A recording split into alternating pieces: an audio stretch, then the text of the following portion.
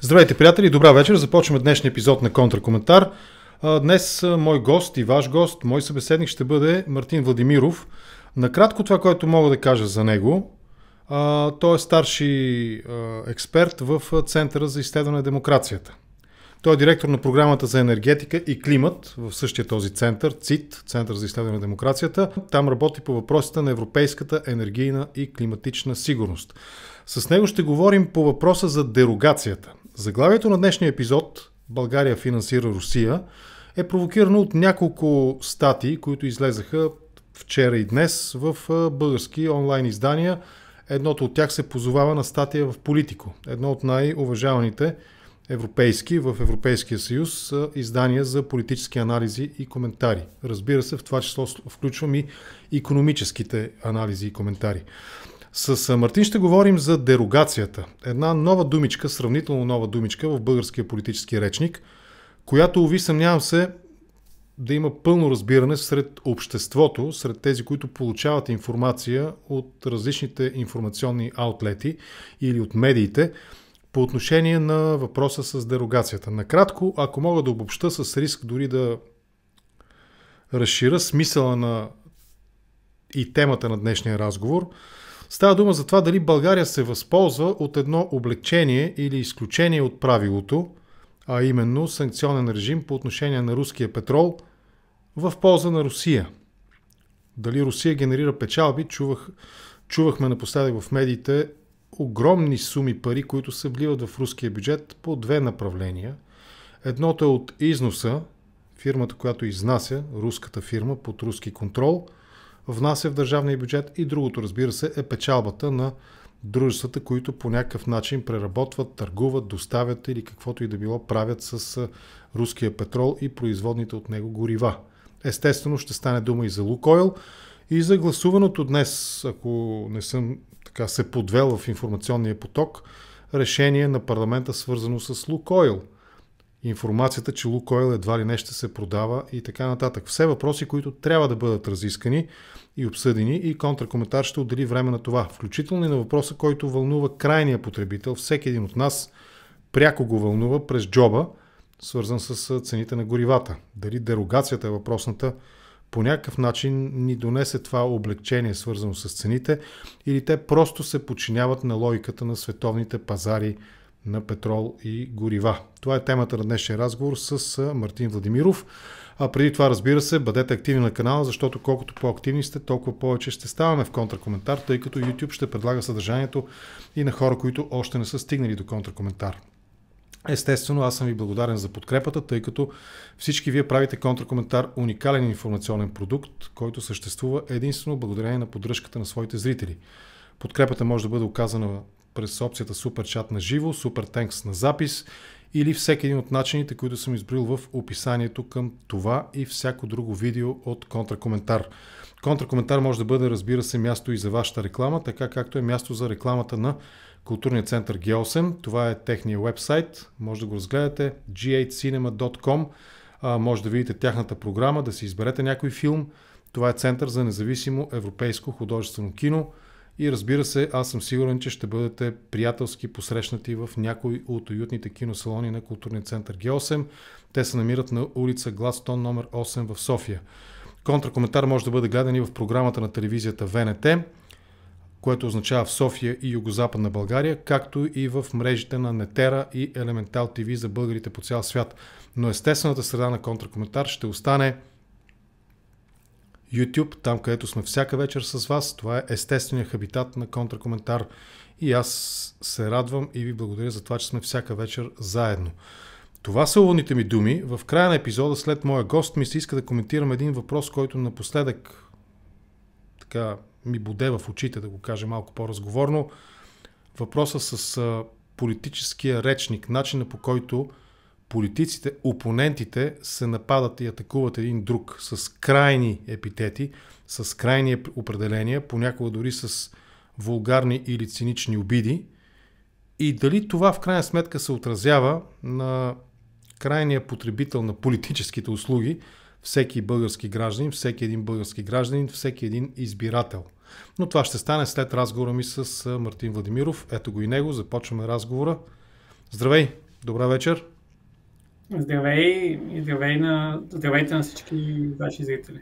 Благодаря за това, че прие поканата ми за този разговор. А, да, наистина струва ми се темата с дерогацията е важна, тъй като по две причини. Първата енигмата около този термин и втората ефекта от прилагането й и съответно отмяната й върху нашето общество и върху това как България седи на европейската сцена, а и на световната политическа и економическа сцена. Да започнем от там наистина твоето обяснение, ако трябва да го обясниш на хора, които наистина се чешат по главите и си казват аджеба, няма ли българска думичка? Какво е това дерогация? Ще започна с нещо като виц. Един мой приятел опита да разтълкува какво означава дерогацията и каза, че дерогацията е когато съпругът убие любовника на жена си. Дерогация. Премахване на рогата. Премахване на рогата. Добре, а в петролно-економическия смисъл какво означава дерогацията?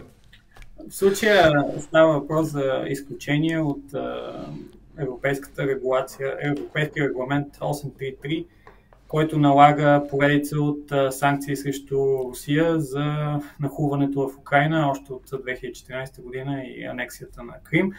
А, вече са гласувани 11 пакета санкции а, и всъщност България получи а, отстъпка, т.е. изключение от шестия пакет, ако не ме лъже, на 5 декември 2022 година, а, когато влезе в сила забраната за внос на руски петрол в Европейския съюз. Четири държави получиха а, такава, а, такова изключение, три централноевропейски, Чехия, Словакия и Унгария. И а, България, казвам, разделям ги като пакет, защото България е единствената държава в Европейския съюз, която има излъз на море, но въпреки това получи а, изключение и продължава да внася руски петрол. А, през, а, казвам го това специално, защото централноевропейските държави а, нямат излъз на море и това затруднява вноса на альтернативни доставки на руски петрол. Казвайки това, и те могат да внасят не руски петрол, малко по-сложно е, но и те могат да диверсифицират а, източниците на, а, на петрол. Но за България това беше ясно много преди да бъде взето решението за а, изключението. А, няма технически, економически причини България да получава такава отстъпка, а, защото а, още май месец 2022 година публикувахме подробен анализ, а, който показва... Центъра за, Центъра за изследване на демокрацията. На демокрацията, да. А, който показва ясно, че рафинерията може и е преработвала най-различни видове суров нефт, над 20 такива от целия свят, извън Босфора, в границите на Черно море и така нататък. Даже един месец преди началото на руската инвазия в Украина, рафинерията в Бургас е преработвала само 40% руски петрол. А, и така. И, и, и по някакъв начин остана впечатлението, че а, май месец 2022 година а, правителството тогава, а, оглавявано с, от Кирил Петков и, и финансов министър Сен Василев, а, създадоха едно дезинформационно послание, че рафинерията ще затвори, ако не получи а, това изключение. А, и има екологични рискове пред а, спирането на руския нефт, тъй като рафинерията не може да а, обработва чужди а, альтернативни сортове а, и оттам ще се стигне до обгазяване на Бургас. Това са най- най-отговорно заявявам, знаеки колко чувствителна тази тема за бургазли, а, че такива рискове не съществуват. Всъщност Лукойл замърсява въздуха на Бургас от десетилетия и това се случва с преработката на руски нефт. Ако искаме наистина да се спре обгазяването на Бургас, трябва изобщо да бъде затворена рафинерията, но това не се обсъжда като тема. А, но няма значение дали се преработва руски нефт или друг за ниво, нивата на замърсяване. А, но а, факт е, че в крайна сметка в текста на Европейския регламент 8333 влезе изключение, което преповтаря почти буквално а, а, упорните точки, които бяха разпространени от правителството тогава. А, впрочем, решението да се лобира за получаване на, на изключение не е гласувано в Министерски съвет. Финансовия министр Сен Василев тогава не е получил мандат от Министерски съвет да настоява пред Европейски съвет за подобно изключение. Това е взето, така се каже, индивидуално като решение и, а, и е видно от текста на дерогацията, да използвам вече най-добрата да, да. дума.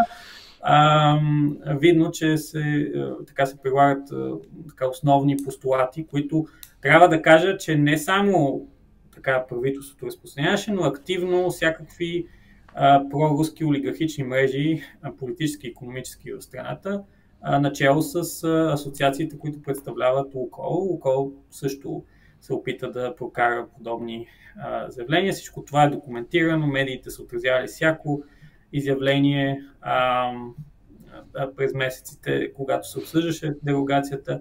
След влизането в сила на дерогацията в този преходен период до декември, 2000, декември месец 2022 година, а, реално имаше много шум, а, същото правителство, което беше а, поискало дерогацията, специално а, заяви, че тя а, не трябва да се използва за реализиране на допълнителни приходи и печалби от продажбата на горива за трети страни, а, горива произведени от руски петрол.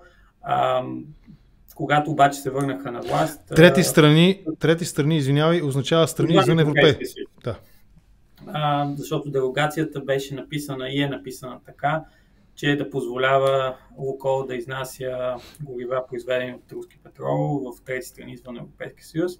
А, и а, всъщност беше много странно, че лидерите на Продължаваме промяната Демократична България настояваха нали, тази, това, тази допълнителна услуга, която правиме на, на Лукол, да бъде премахната.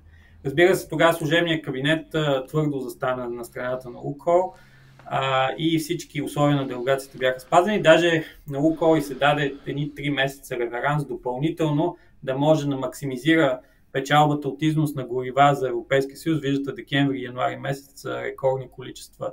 Януари месец 2023 година рекордни количества, като за последно на износ на горива за Европейския съюз.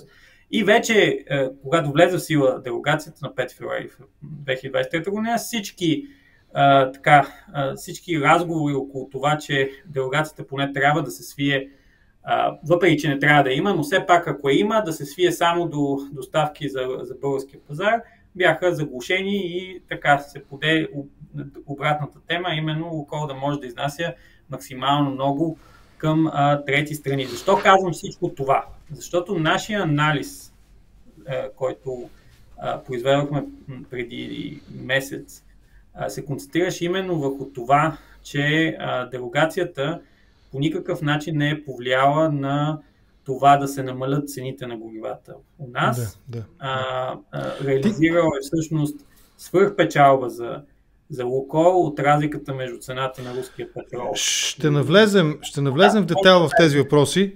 До този да. момент ти очерта няколко неща, които със сигурност предпоставят допълнително изяснение. Отзад напред, може би, ще започна. Това решение на министъра самостоятелно, Василев, Асен Василев и тогава и днес финансов министър, да сам да действа за тази дерогация, за мен меко казано е странно, вероятно е легитимно, защото най-малкото щеше да се коментира публично неговата законност, но то е много тежко политическо решение и аз съм убеден в политическата логика, че не само на Министерски съвет, но струва ми се и парламентарна санкция трябваше да има на подобно решение. Съгласен ли си с подобно мнение? Разбира се, това е съдбовно, ако искате, геостратегическо решение, защото а, така подкопава така, обединените усилия на Европа да възпрат а, руските действия в Украина и да намалят а, възможностите на Русия да воюва продължително. А, да, българския пазар е малък, да, печалбите на Русия от България са малки, но малки-малки са 3% от общите приходи на, на руския бюджет от продажбата на петрол. 3% вероятно означават няколко седмици ракетни атаки срещу Киев. Знаете, днес да. поредната тежка атака срещу Киев. А, ми, ние може да изчислиме точно колко ракети са купени с тези А, ще стигнем. До конкретните суми ще стигнем, да. Защото тези твърдения ги има в публичното пространство, в медиите. А, друго, Централно европейска държави 3 и България, която не е централно европейска, по-скоро южноевропейска, въпреки че ни наричат източно европейска държава, но ние имаме излъз на море. Доколко обаче този излъз наистина е в този смисъл безпроблемен, тъй като Турция контролира Босфора и на практика без някаква санкция на Турция означава пряк внос от Русия. Тоест, наистина ли е альтернатива за нас Черно море? Само защото имаме излъз на море, означава ли това, че ние сме в по- благоприятна позиция от другите три централноевропейски страни. Кои бяха да ги повторим? Унгария, Чехия и... Унгария, Словакия и Чехия. Словакия и Чехия, да. А, само да кажа, да отбележа нещо. Германия и Полша имаха също дерогация, защото а, са свързани с тръбопровода Дружба, по да. който а, така доставки на руски нефт. Но Полша и Германия взеха решението, че няма да се възползват от дерогацията, защото смятат, че не е необходимо. Германия всъщност имаше проблеми с диверсификацията на руския нефт, но предприе решителни действия и за около два месеца си реши проблема, като в момента внася казахски нефт. Просто го казвам като скоба, че вижте, до голяма степен става по за политическа воля и за наделяване над руските интереси в отделните страни. Да, да, но аз искам да изолирам възможността да, България нямаше альтернатива. Говоря за, да, ще говоря за, ще говоря за Босфора. Босфор е един от а, основните а, а, маршрути за доставка на суров нефт в света. Милиони и половина барела дневно преминават през Босфора. А, няма никакъв проблем за доставки на, на петрол през Босфора. Тоест альтернативен не руски може. Несериозно, изключително несериозно е и, и много а, така уважавани економисти в България разпространяват изключително грешното и дезинформационно послание, че Босфора ограничава достъпа на България до альтернативни... Милиони и половина барела дневно. Колко е потреблението на България? България консумира около 85 хиляди барела дневно. Значи една да. много миниатюрна част от тези доставки. Да не говорим, че Лукол внася суров нефт, даже октомври месец се хваляше с това, от Норвегия внася нефт от Саудитска Аравия, всички тези и от Египет, и от Алжир и така нататък, всички тези доставки преминават през Босфора. През годините повече от половината доставки са идвали от страни извън Босфора и не е имал никакъв проблем. Нищо не се е променило през последната година и половина. Да, Турция дигна таксите за пренос през Босфора. Но просто много е важно, като се каже, че са ги дигнали пет пъти, да се има предвид от колко са ги дигнали и каква, какъв процент от общата стоеност на петрола са тези такси. Ими те са около половин процент от стоеността на петрола. Нали разбирате, че разликата в крайната цена е миниатюрна. Да. И по никакъв начин няма да окаже съществено влияние върху крайната цена на бензиновата колонка и ние в редица доклади, говоря Център за следа на демокрацията, да. август, първо, май 2022, януари 2023, август 2023 и ноември 2023 представяме различни данни и факти, които показват именно за, а, а, за липсата на технически предизвикателства при доставката на руски нефт, альтерна, а, на, на, альтернативен, рус, на альтернативен нефт до, на Русия, до, да. Бургас. А, ако останем още малко на финансовия министр, господин Василев, точно тогава, когато се договаряше, когато България искаше дерогация, аз ще предам по смисъл неговата позиция или дерогация, или налагаме вето върху санкциите. Економическа логика, съдейки по думите ти, няма в, това, в тази позиция. Каква е политическата логика тогава? Василев да е толкова категорично срещу общоевропейската позиция за това, че касичката на Русия трябва да бъде сериозно ограничена. Военната касичка на Русия. И тук стигаме до последната опорна точка, на която се държи всичко и която се а, разпространява денонощно, включително не само в публичното пространство, ами и в частни разговори с българските дипломатически кръгове. А, а именно това, че ако спреме вноса на руски нефт, Лукойл ще затвори рафинерията. Да, да, ама това е лъжата. Ще се предизвика, ще се предизвика криза и правителството ще падне. И всички ще умрем. Всички ще умрем, това е ясно, да. Това е неизбежно. Всички ще умрем е първата най-важна опорна точка. Няма начин да се справиме. Щяхме да умреме и като, като ни спряха газа. Същото това правителство, същите тези хора тогава се справиха по техни думи, въпреки че тук също може да спорим колко са справили, но нека да кажем, че уж са се справили за седмица с газа. Имайте предвид, че отново една такава а, метафора ще кажа. А, отношенията в петролния сектор са като гаджетата. Лесно се сменят. Можеш лесно да ги замениш, няма голям проблем. Има някакви разходи, но, но като цяло е лесно. При газа е малко като брака. Значи, дългосрочна връзка, трудна за прекратяване и все някой е недоволен, като, като бъде прекратена. И някакси при тази много токсична връзка, която имахме с Газпром, десетилетна, ние успяхме да я прекратиме за една седмица а, и да се измъкнем сравнително невредими, може би с около 1 милиард допълнителни разходи за покупка на природен газ, но да оставим на страна. Но с Лукол някак си всички ще умрем и невъзможно тази връзка да бъде прекратена. Добре, ако влеза в твоята така схема на метафорите, тази интимна връзка, нали, как си обясняваш? Аз наистина, ако приемем, че това е неверно твърдение, много сложно, много сложен заместител, използвам за думичката лъжа, ако приемем, че това е невярно твърдение, че всички ще умрем нали, без а, дерогацията, и ако в него няма економическа логика, аз продължавам да търся политическата. Имаш ли обяснение? Това правителство, тази сглобка, тя се обявява като евроатлантическа. И изведнъж предишната му версия а, казва дерогация или вето върху санкциите срещу Русия. Нямам а, логично обяснение за действията на, на правителството. А, наистина само мога да спекулирам около политическите мотиви, да. А, политическата заплаха, около това наистина Лукол дали може да предизвика сериозна криза. А, но за да отговоря на този въпрос, ще ви дам примера с Германия отново и с Италия. А, рафинерията Швед в източна Германия, която в район доминиран от а, альтернатива за Германия, АФД, крайно дясната проруска партия, а, тази рафинерия отказа да смени руския петрол с альтернативни доставки. Германското правителство каза така ли а, и пое рафинерията под специален контрол.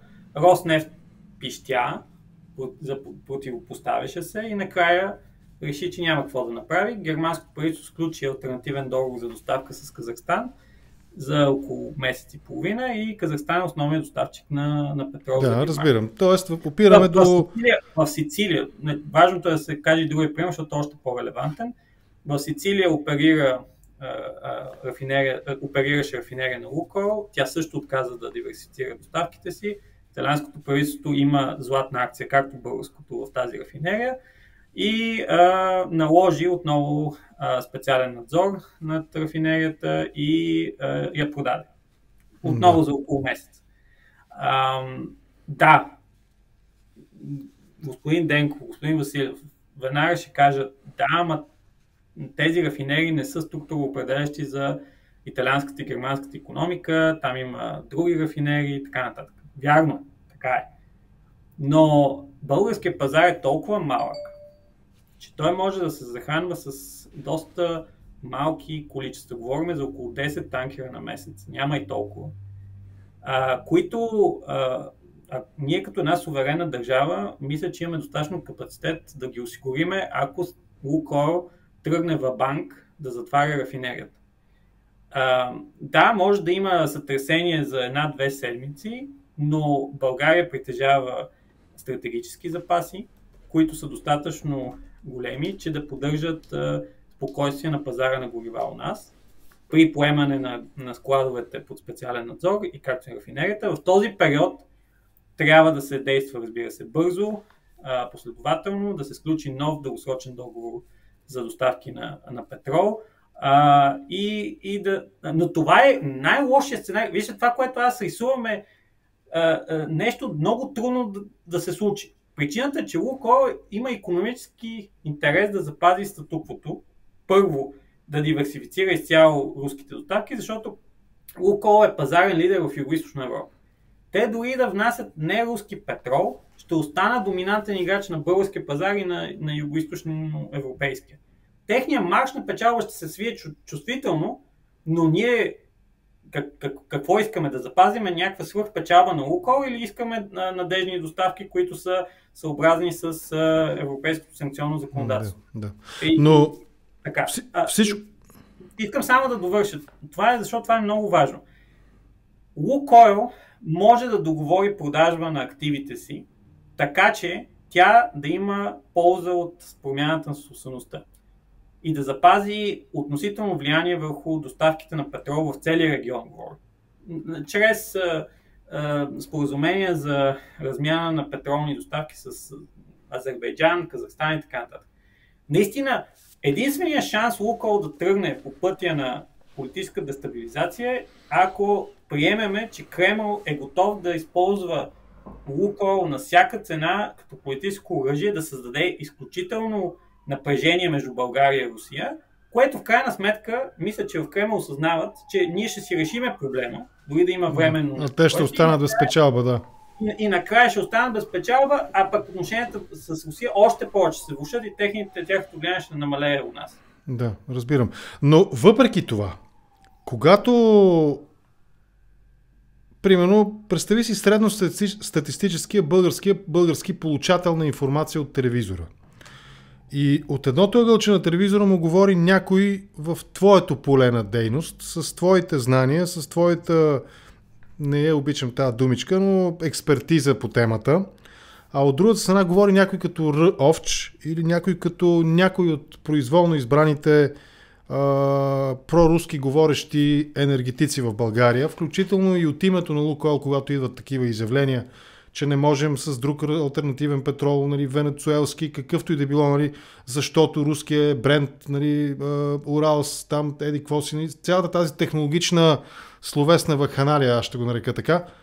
Естествено е, че у масовия потребител на този информационен продукт ще остане най-малкото объркване или в по-лошия вариант пълно недоверие към хора като теб и хора като мен, които се опитват ти през изказването, аз през задаването на въпроси и опита да дам гласност на альтернативна гледна точка, ние просто ще останем на втория шалон или на английски израза на бекбърнера, нали, на задния котлон на печката. Отпред ще се готви много по-важната манджа, а именно всички ще умрем, ако се върна към, твоята, към твоя словесен каламбур. И въпреки това, Доколко твърденията, че Лукойл наистина не е в този смисъл независи, зависим изцяло обвързан с руския петрол, Уралс, са верни или неверни? На какво основание, на каква основа, не основание, на каква основа а, структурираш тази своя теза? А, че, могат да, че не могат да заменят руския Не, че могат. От теб разбрах, че могат да го заменят безпроблемно. А те твърдат не може така, на основата на много детайлен а, петрохимически анализ на функционирането на българската рафинерия, който е изработен, впрочем, в сътрудничество с а, доктор Бойко Ницов, който а, беше наш колега, в момента е държавен представител в а, надзорния съвет на рафинерията. Ага, т.е. този химически анализ окей, а технологичен анализ – оборудването. Е Само да кажа, този човек отговаря... А, техно, технохимичен, разбрах. Технохимически анализ, да, технохимичен. Uh, той отговаря за доставките на суров uh, нефт за рафинерията преди тя да стане частна, uh, по времето на комунизма. И даже той обяснява как лично е договарял доставки на альтернативни количества на руски нефт и, и знае много добре как функционира рафинерията. Вижте, най-смешното е, че Лукол поръчват анализ на така, е, експерти от химическия факултет а, в София, които да изготвят а, подробна справка за различните сортове нефт, които рафинерията може да използва. И там се доказва, че са над 20 вида суров нефт и се класифицират и това официално публикувано изследване, всъщност е с печат на Лукол, с, с е, логото на Лукол. Даже тия хора си мислят, че не е ти на работа в Лукол след това. Нали, компанията от, като пазарен играч е мислила за това какво може да направи по принцип, да, да. теоретизира. Да, естествено, ако си на пазара, ти мислиш как да ограничиш рисковете пред твоето производство, така е. Да, и, и, и, и, и най-смешното е, че от, от правителството идва точно обратната гледна точка и, и много често самия Лукол казва обратното на това, което се твърди в този доклад. Който правителството в момента и, и сегашното правителство, не само предходни. Всички правителства. Тук той каза, че няма така, има една, еднакомислие последните да. две години темата, да, разбира. което а, и, и тук, се, тук се връщам на твоя въпрос. Ми всъщност начина тези бекбърнери да се превърнат в фронт. Имането на решения а, е като си свършиме добре работата и на основата на данни и на подробно а, събрани сведения да а, произведеме тези анализи от преди един месец и от тази сутрин, които показват ясно как дерогацията се използва за да захранва кремлския бюджет. И... Е, стигаме, да, стигаме до същността. Тези 20 на 25 минути уводни бяха необходими за да стигнем до същността. Твърденията са между 1 и 2, между 1 и 2 милиарда печалба. А, твърденията са също така, че а, буквално ще прочета заглавието. Месеци наред България внася руски петрол на цена над тавана от 60 долара за барел. Това са публикации в български медии, каза го в увода. На основа част от тях публикация в Политико, най-престижното може би аналитично издание за Европейския съюз, чете се от всички в Брюксел, където в, което, в която публикация се позовават и на твоя, като представител на Центъра за изследване на демокрацията, коментар или по-скоро анализ, професионален анализ. Обясни да ги тези, че... Да, да, слушай. Да, само да кажа, че тези данни се основават на а, няколко месеца работа на международен екип от експерти, който не включва само а, колегите а, от Центъра за изследване на демокрацията, включва организацията Global Witness в Великобритания, една от най-големите неправителствени организации, които наблюдават а, имплементирането на санкции и от Центъра за енергийни проучвания и чист въздух в Финландия, които пък а, станаха, може би, най-влиятелният институт през последните две години, защото така създаваха един инструмент за постоянно наблюдение на енергийните приходи на Русия от продажба на петрол, газ, въглища ядрено гориво по света, цитират се от най-големите издания постоянно, защото те дават наистина подробна разбивка на, на, на, на руските енергийни приходи, така че това е едно много така задълбочено разследване, което впрочем сме консултирали с санкционни адвокати. Имайте преди, че всичко това, което пишеме е много чувствително, а, уязвими сме на потенциални съдебни искове и за това Информацията е проверена много внимателно преди да бъде публикувана. Да, да, Ние работим ексклюзивно с политико през последните два месеца, т.е. Тази, този анализ е ексклюзивен само за политико.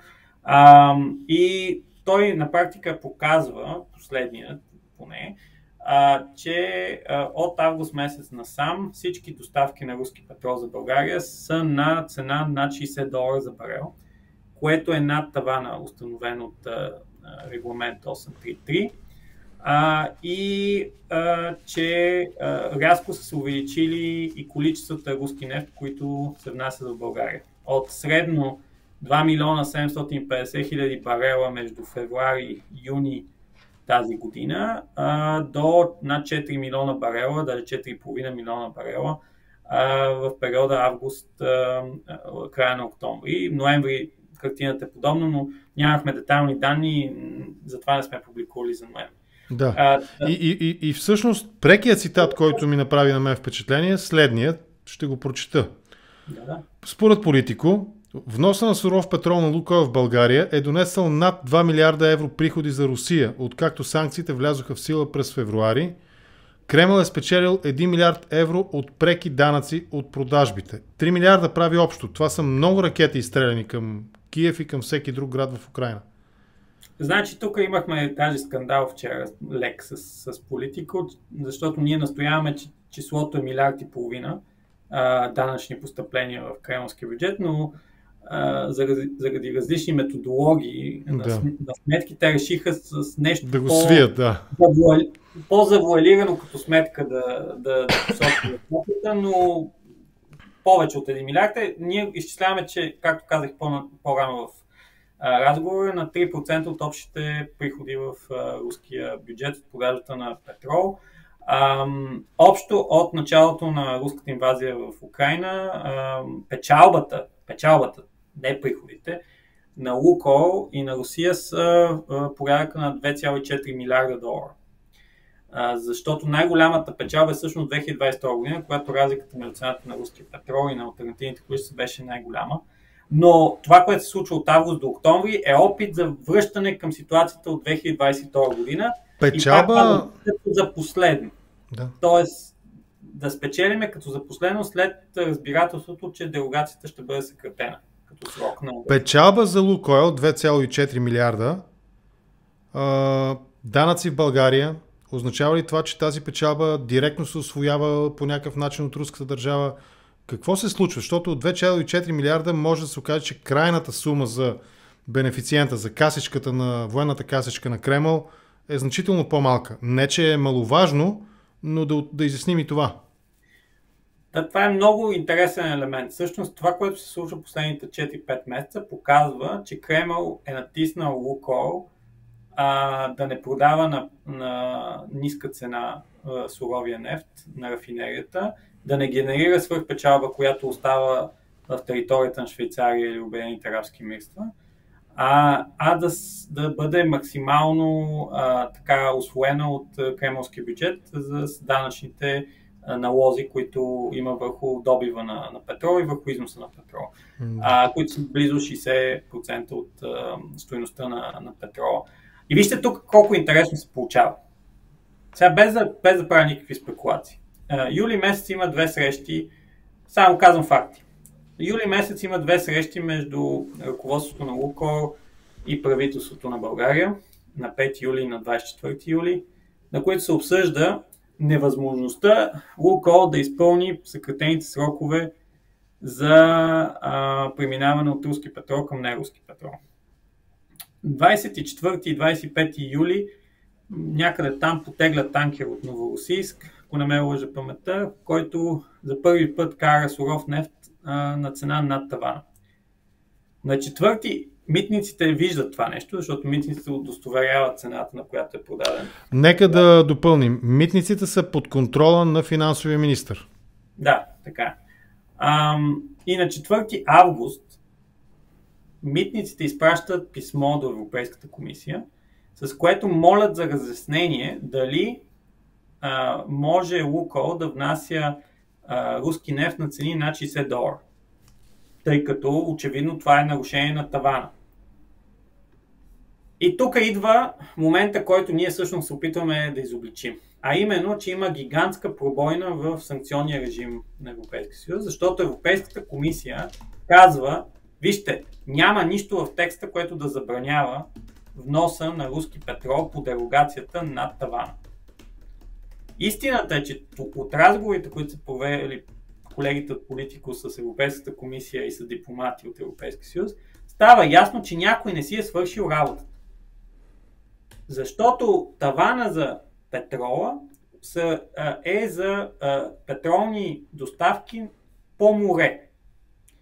Всички петролни доставки, с едно голямо изключение България, са за страни от извън Европейския съюз. И за това тавана е така написан, че става въпрос за доставки на петрол извън Европейския съюз за трети страни. Някой не си е довършил работата да включи и българската търговия да е до тавана. Защото няма правна логика доставките на суров нефт за България, които са по море, да се случват на цена над 60 долара, при положение, че всички доставки с танкери по море се случват под 60 долара. Задължително.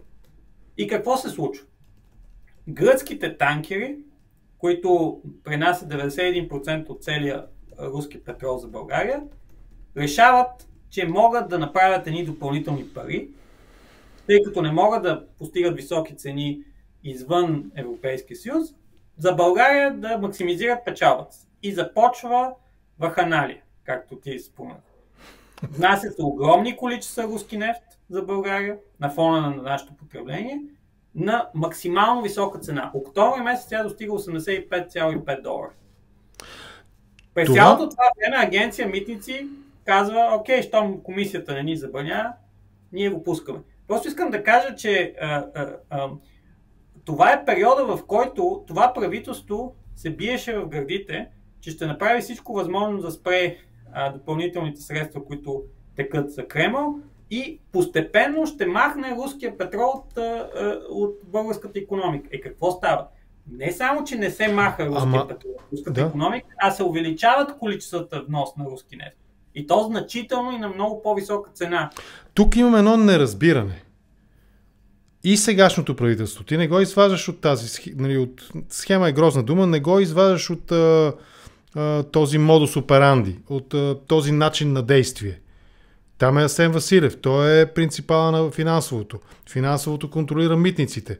Ако има някакви позволено да използвам речни, в термина си речници въведени, в, термин, в, в речника си термини въведени от а, премиера бившия Борисов, ако има някакви мушинги, нали, те би трябвало да са подконтролни на митниците, т.е. на финансовия министр също така.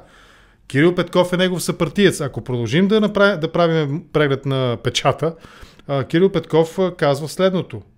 Политико цитира Кирил Петков, задните вратички трябва да бъдат затворени. Това не е задна вратичка, това е параден вход, който нали, ние с теб обсъждаме.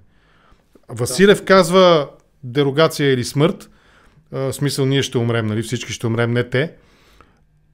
Петков казва задните вратички трябва да бъдат затворени. А те са съпартийци. Партията на Петков упълномощява съпартиеца на Петков Василев да бъде министър в парламента с гласуване на Министерски съвет. Това... Ситуацията, е Ситуацията е следната. Да. Политико взимат интервю от Кирил Петков в сряда миналата и му казват, ще има това, тази статия. Тя показва това. Дайте си мнението. Кирил Петков е реагирал инстинктивно, правилно политически да каже най-разумно е това да се махне. Да, има проблем, ще го правим, ще го решим. Го правим. Точно така. Това е. Това е всичко, за което става въпрос. Не, не, че има някакво неразбирателство вътре. Да, По-скоро да, да, да.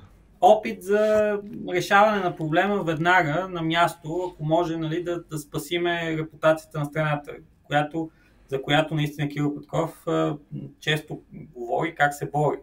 И, да. и някак си м- има да, един той, той влиза... когнитивен дизонанс между опита за брандиране на България като борец а, срещу руското влияние и паралелните а, действия по казуса Лукол. Тоест влиза в ролята на фиксър на Сен Василев, грубо казано. Въпросът е, че какво се случва от това? Днес, тук-що на първо четене да. мина дерогацията, т.е. намаляването на, на срока на дерогацията до 1 март 2024 година.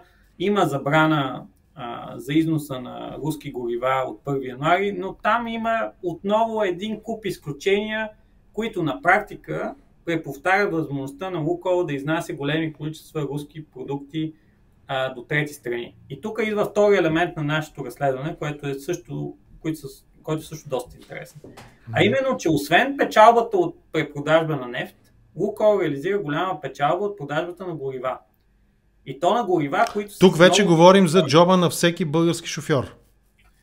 Да, разбира се, защото когато се изнасят големи количества горива навън, цената у нас се запазва много по-висока, също тя е на средните равнища на европейския пазар. Все едно ние, като всички останали европейски страни, сме диверсифицирали доставките, не, не внасяме по-ефтина руски петрол. Извинявай, дерогацията вместо да намали, поддържа висока цената на горивата. Да, защото има износ. Ако нямаше износ на руски горива, ще, ще, се... пазар ще да. бъде наводен от ефтин, ефтин руски петрол, руски, извинявайте, руски горива. В момента вече не са толкова ефтини тия руски горива, защото, нали, нали, както споменах, Лукол внася нефт на висока цена, но поне до август месец, реално цената трябваше да е 30-40 стотинки по-ниска по бензиностанциите.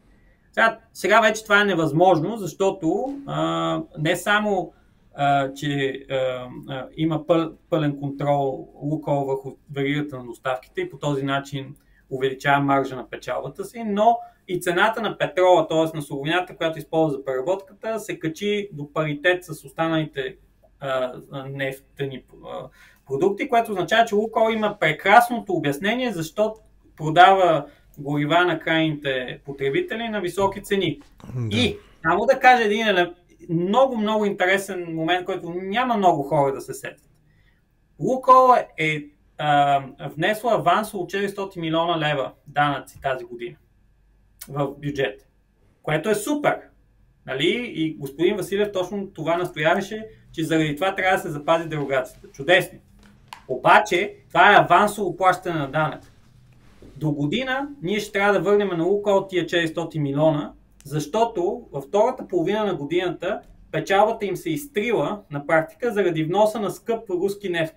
Разбирате ли какво се случва? Да. Малко на депозит. Я подръж тия пари, ще ми ги дадеш след 2 месеца. 18 месеца Лукол генерира свръх печалба, на която не плаща никакви данъци. В момента, в който обещава, че ще плати 400 милиона лева авансово данъци и ги плаща, прави така счетоводството на своите доставки на петрол, че тази печалба да се изтрие и до година да се си върне парите. Разбирате ли за какво говорим? Ами, аз те разбирам. Това е позволено от агенция Митници и това е одобрено от НАП. Да. НАП те бяха към микро... Не, и те са към финансовото. Към финансовото също, да. Пак към Асен Василев. Аз те разбирам какво казваш и без абсолютно никаква правна а, конотация би го определил това нещо единствено като престъпление. Не може да се определи като престъпление. То, това е проблема. Те, и, Денко Затова ще казвам, извън правната терминология го определям като такова. Денко, да допуснеш... Денко ще, ще каже, че е легално. Всичко е легално. Ми легално е. Ма, ама това е дефиницията на завладяването на държавата. Ние се опитваме толкова години това да, да обясним. Руското влияние функционира чрез завладяване на институциите, така че те да обслужват конкретен част на интерес. И обслужването минава през създаването на правни обстоятелства и дефиниции, които Позволяват, да. В рамките на закона, да. В рамките на закона да осигуряват доминация на един економически субект. Като заговорихме за НАП, трети страни, страни извън Европейския съюз, ако аз правилно познавам економическата логика, ДДС, ако намесим в случая, нали, те, играчите в тази схема, вече ще използвам смело думата, имат пълното право да поискат възстановяването, защото износът е към трети страни извън Европейския съюз, където няма нали, ДДС. А, правилно ли разсъждавам? И какво следилите за този процес? И митниците и НАП? На този въпрос не мога да дам компетентен отговор. Просто така това, е, това е наистина изисква по-сериозен анализ. Да. Но факт е, че а, с увеличаването на цената на, на суровия нефт, а, потенциално може да говорим за ръст на ДДС-то, което трябва да бъде платено в българския бюджет. А, но това, ако се компенсира от а, връщането на авансовото плащане на корпоративния данък до година, накрая ще останем отново на нула, най- най-общо казано, по мои сметки. И, и, и, и тук идва момента с доставките от трети страни. Да. А, защото това е нещо, което трябва да се прекрати веднага. Не може дерогацията, дерогацията какъв е, какъв е смисъл на дерогация? Смисъл е да осигури сигурността на доставките за България. Така, за българския да пазар, да. А не да осигурява възможност на Лукал да генерира свръхпечалба от Изнасяйки към трети страни, да. А, и, и ние изчисляваме, че за първите 9 месеца, т.е. от февруари до септември, а, а, Лукол изнесло 1 милиард, те се 1 милиард се получават някакси, 1 милиард долара а, крайни продукти до трети страни. И вижте сега, една трета от този 1 милиард е изнесен чрез пренос на гориво от един танкер на друг в териториални води на Гърция и на Малта. И тези доставки отиват до най-интересни държави. Говорим за 3,3 милиона барела продукти. Тези продукти стигат на 4 пъти, 4 от тези танкери, те са 15 танкера, отиват в Съединените щати. Флорида два пъти, един път Тексас, един път Нью Йорк, ако не ме лъжа памет. Тоест, ние не само, че осигуряваме допълнителна печалба на Луко, ами помагаме... Отваряме им парите, а, вратите... В Съединените щати. Значи, да, те се възползват от вратички. Аз, те сега тук могат да изкарат хиляда правни аргументи. Аз ги знам тия правни. Въпросът е, че това, което нашия анализ критикува е, че европейското законодателство западното законодателство за, за петролните санкции е разграден двор. То нарочно е надупчено като швейцарско сирене, така че различни играчи, които завладяват институциите, всякакви видове помагачи на Кремъл, застрахователи, корабо а, търговци на горива и на петрол, всички те да печелят. И то да, да печелят огромни пари.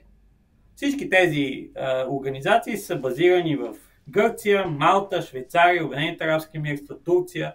Всички тези помагачи нищо не им се случва. От време на време се слагат санкции върху една-две компании, но като цяло бизнеса върви с пълна сила.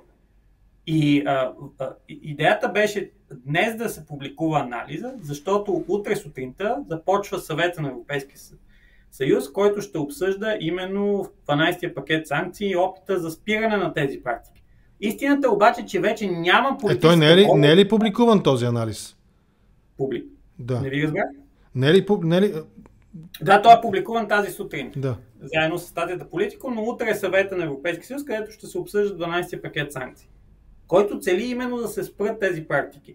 Истината е, че няма политическа воля. Това показва анализа на О, Това, че няма е публикуван тази сутрин, показва, че нашите медии са реагирали бързо, понеже аз ги видях сутринта новините и реших, че те са от предния ден. Тоест, ние обсъждаме актуална към днешния ден новина, О, да, буквално да, да, от тази сутрин. Да, да, да, да, да. Е, да, 7 сутринта за някои, нали, за, отново ще ползвам речника на Борисов, за лумпените, които спът до 11 и почват да пишат глупости във Фейсбук. Предполагам, че, извинявай, че ще приобща към тази група, но предполагам, че ние спадаме към тази категория. А, 7 сутринта си е още вчерашния ден, общо взето. О, моят ден започна в 5 сутринта. Да, аз съм ти благодарен. Между другото, виждам от амбиента, че си в такава работна среда, вратата стъклената и звукоизолираща за теб. Знам, че си извън България на конференция и наистина съм ти благодарен за това, че отдели вече 40 искам, и няколко минути разговаряме. Да. Време искам за зрителите. Да, да. Искам само това да споделя.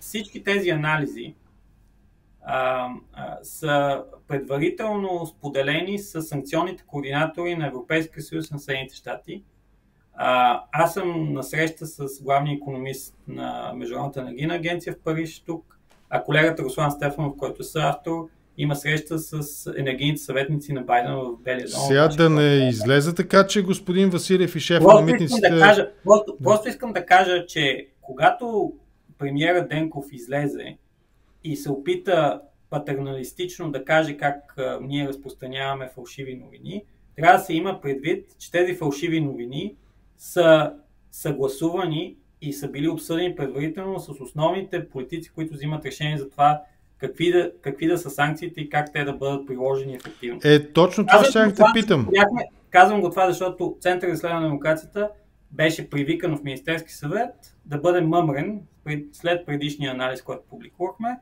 че разваляме имиджа на страната.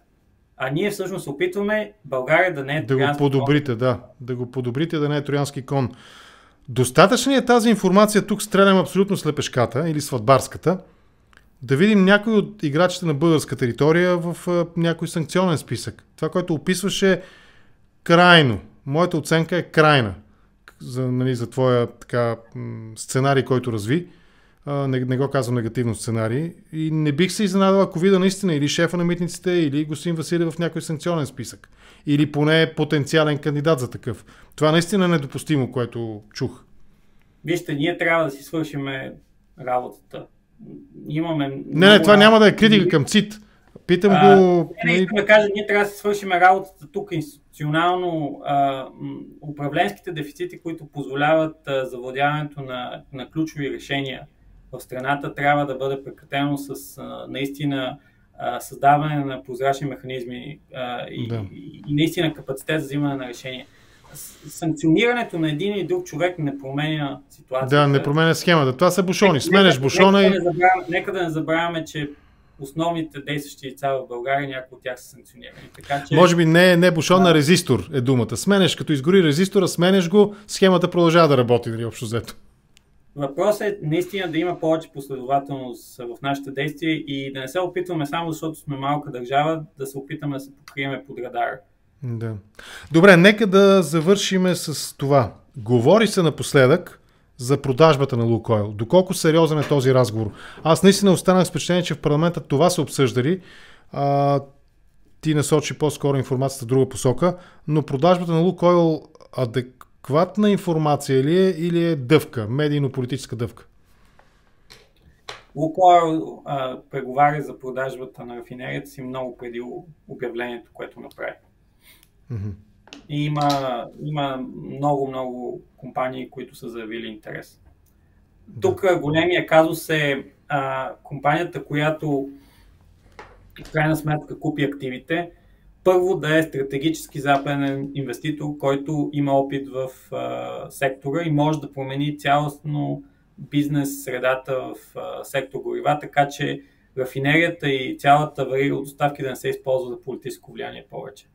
А, много е важно да се предотврати рафинерията да влезе под контрола на други авторитарни държави, а, например Азербайджан, а, които а, така в момента въртят много а, атрактивен бизнес с Русия по замяна на петролни доставки, така че Русия да може да изнася големи количества петрол навън. Азербайджан е проксито на Русия, както в петрола, така и в газа. Знаете, Сукар има най-голям интерес да купи рафинерията. Причината е, че подобна рафинерия беше купена от Сукар в Турция и тя в момента оперира цяло с луколски нефт а, замяна на един заем, който Литаско отпусна на компанията, няма да влизам в детайли, но това е голям риск. И другия голям риск е рафинерията да попадне под контрола на проксита местни а, или чуждестранни, които а, да са реалните собственици на активите, но да работят през поставени лица, като целта там да не бъде развиване на бизнеса, а, използването на този актив именно за генериране на свърхпечалби и за, за използването му за политическо влияние, както споменах по Да приключим тук, за да остава наистина, както казах, знам, че си извън България на конференция и в момента си в а, такова работно, работно пространство, отново казвам, съдейки по атмосферата около теб. Мартин Владимиров, а, старши експерт и директор на програмата за енергетика и климат в Центъра за изследване на демокрацията. А, по въпросите, работиш по въпросите на европейската енергийна и климатична сигурност. Благодаря ти много за това участие. Благодаря. Уви за, уви, за съжаление, бях се настроил сякаш една идея по-оптимистично, но анализа, който направи, по-скоро ме върна приземи ме на българска територия. От някъде от облаците, където се бях порел в тази, така се реех в тази, по тази тема. Благодаря ти наистина, до скоро. Надявам се този анализ да помогне всъщност да се придвижим една йота напред.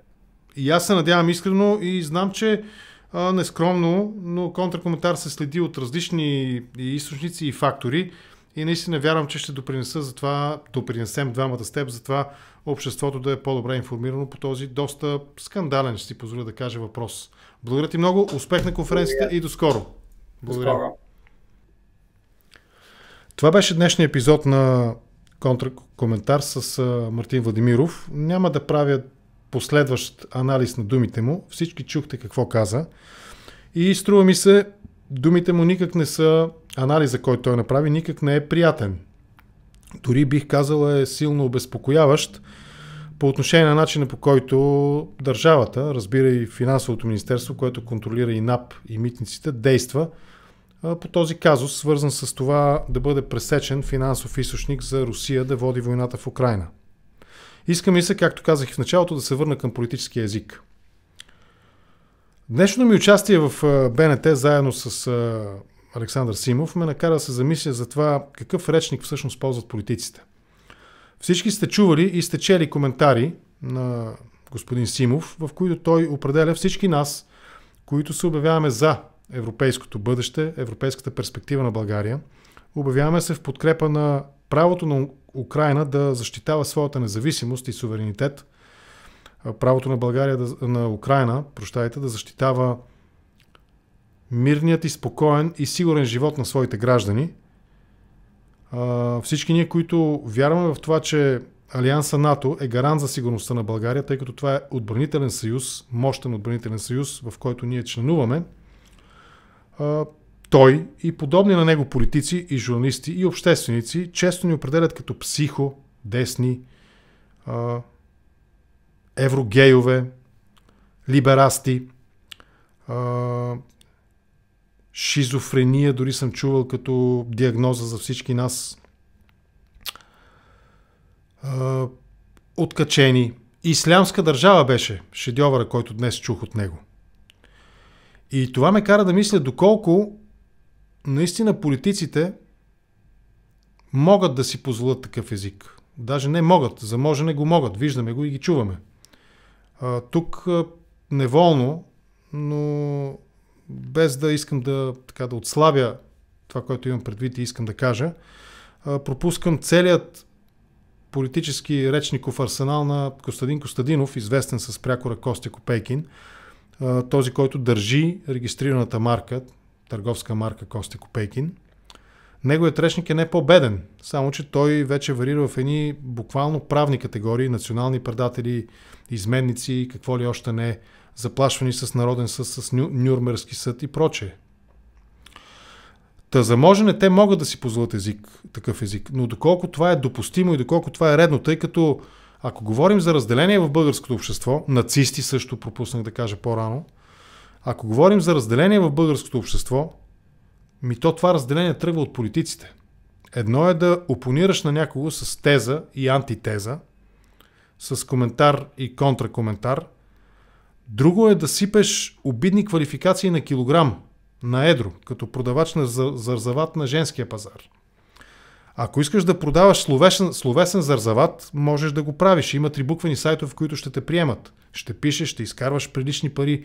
Вярно, по-малко, по-малко отколкото ако си депутат член на няколко комисии, член на няколко екипа за, дружеств, за дружески приятелски отношения с Сирия, с Либия, с а, а, Сомалия и какво ли още не.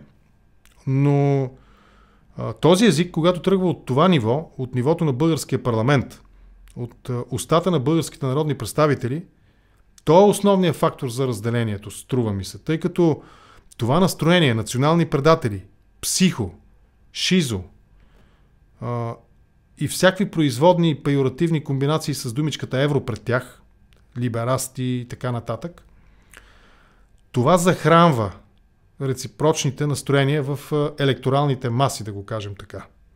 И обратното, ако българските политици се стремат да говорят на културен, сносен, внятен, разбираем, грамотен, цивилизован, компетентен политически язик, колко много изисквания ви им поставих, Естествено е и логично е тези надолу по веригата, политическата верига, гласоподавателите, електоралните маси, широките електорални маси, поне малко да прихванат от този език. И обратното, лошия пример е заразителен, когато политикът си позволи крайно вулгарно, цинично, просташко, невъзпитано, неграмотно, некомпетентно говорене, естествено то се предава надолу, тъй като